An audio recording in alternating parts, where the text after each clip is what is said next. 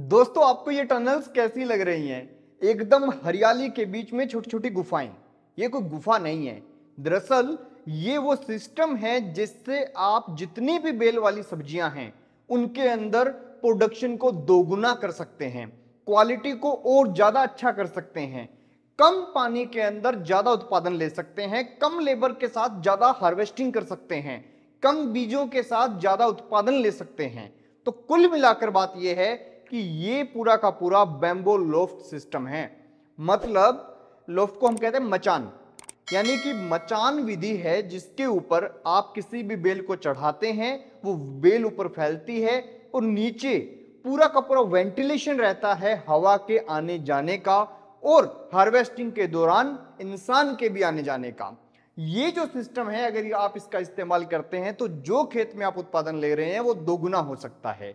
चाहे वो करेले की खेती हो, चाहे वो लौकी की खेती हो, चाहे वो तरई की खेती हो, किसी भी बेल वाली फ़सल जिसके अंदर ऊपर का जो फल लगेगा, उसका वेट कम है, चाहे खीरा हो, चाहे सेम फली हो, चाहे परमल हो, आप इन चीज़ों को इस मचान विधि के ज़रिए उगा सकते हैं। मचान विधि का सबसे बड़ा बेनिफिट क्या होता है और किन चीज़ों का आपको ध्यान रखना होता है, ये समझ लीजिए।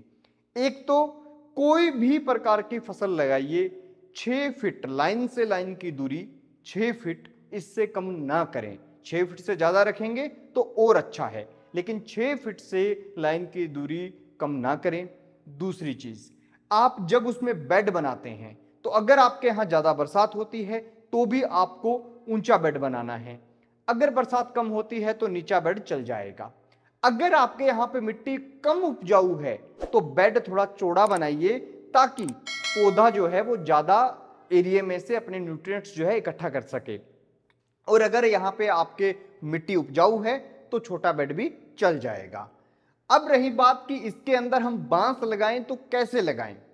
आप लोगों ने सिंपल बाँस खड़े कर दिए, उनके पास में बीज रोप दिया, बेल का। और वो बेल जो है वो एक वक्त के बाद जब 20 दिन के बाद वो थोड़ी बड़ी हो जाती है उसके बाद उसको धागा बाँध के और उसको ऊपर बाँस के साथ बाँध दिया ताकि वो ऊपर की ओर चढ़ने लग जाए। इसी के साथ आपको क्या होता है जैसे कहते हैं ना बाँस की कैंची लगा के जहाँ से बेड की शुरुआत होती है वहाँ से बेड का एंड जो है दोनों साइड में कैंची लग, लग के बाँस लगेगा। और बीच में अलग अलग हिस्से पे बाँस रुकता जाएगा और उनके बीच में प्लास्टिक के धागे बनते जाएँगे। धागे बांधोगे तो बेल ऊपर चढ़ती जाएगी।